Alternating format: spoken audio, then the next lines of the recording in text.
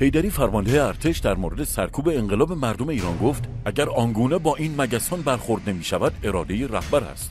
می‌خواد بگه ولی فقیه مخالف سرکوب وحشیانه مردمه یا از اون اطلاعی نداره. اولا وحشیگری مقابل مردم به حدیه که اکثر ویدیوهای سرکوب در جامعه مجازی مسدود میشن.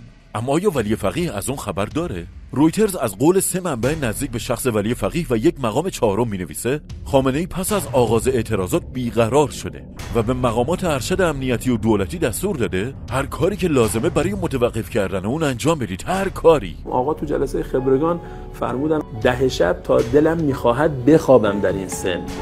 اما از شدت گزارشاتی که از تمهید دشمن برای نابودی انقلاب به من می‌رسد بسیاری از شبها تا از آن صبح قدم می‌زنم و نمی‌توانم بخوابم. بله عذاب وجدان قتل ها شکنجه ها و اعدامایی که دستورشو داده خواب و از چشم دیکتاتور گرفته.